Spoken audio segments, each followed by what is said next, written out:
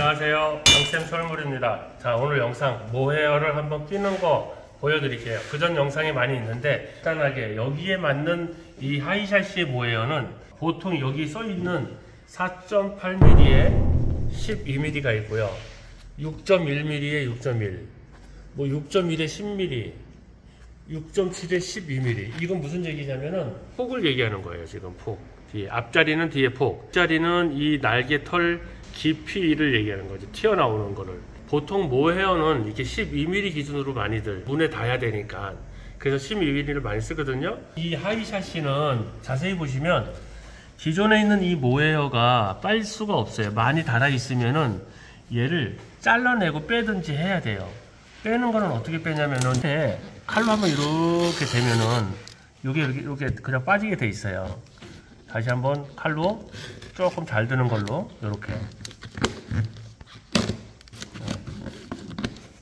이렇게 빼면 되는데 오래된 이 모헤어를 빼고 새로 누르면 이 용접이 돼 있어서 다시 집어넣기가 좀 힘들어요.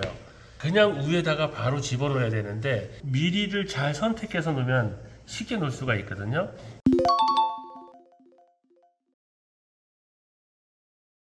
예를 들어서 이 앞에 있는 4.8 같은 경우는 너무 잘 들어가. 잘 빠지고. 들어는 갔는데 왔다는 갔다는 하는데 그냥 빠지죠 이렇게. 잘 빠진다는 거죠. 그래서 여기는 4.8이 안 맞아. 바로 우회 사이즈는 6.1 정도가 딱 좋을 것 같아요. 6.1에 6.1에 10mm짜리로 이렇게 지금. 자, 요걸로 요 사이에다 이렇게 끼시고요. 그리고 방충망 밀대로 여기다 이렇게 살짝 집어 놓으시고요. 그냥 누시면 돼요, 이렇게. 그 들어가는 소리 들리죠, 지금? 그래가지고 이렇게 빼면 안 빠지거든요, 지금 이게.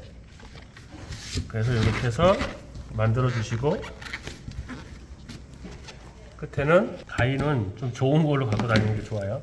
가위는 좀 여기도 이렇게 하시고 이 끝에가 용접이 돼 있어 가지고 요게 용접된 거 똥을 요걸 좀 잘라내 주시는 게 좋겠지 아무래도 만약에 이게 안 되면 이 끝에를 이거를 칼로 좀 잘라 주세요. 이렇게 이렇게. 이렇게. 다시 그래서 이 사이에다가 집어넣고 이런 식으로. 네. 모헤어 교체는 사실 어, 몇 번 이렇게 해보시면 답이 나와요.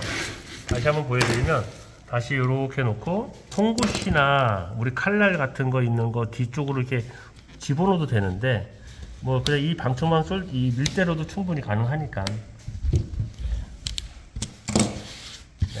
네 이렇게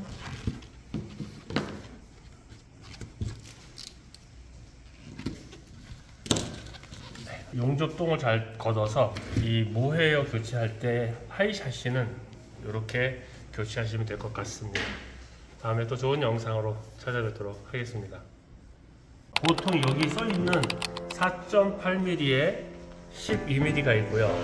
6.1mm에 6.1, 뭐 6.1에 10mm 사이에다 이렇게 끼시고요. 그리고 방충망 밀대로 여기다 이렇게 살짝 집어 놓으시고요. 그냥 누시면 돼요 이렇게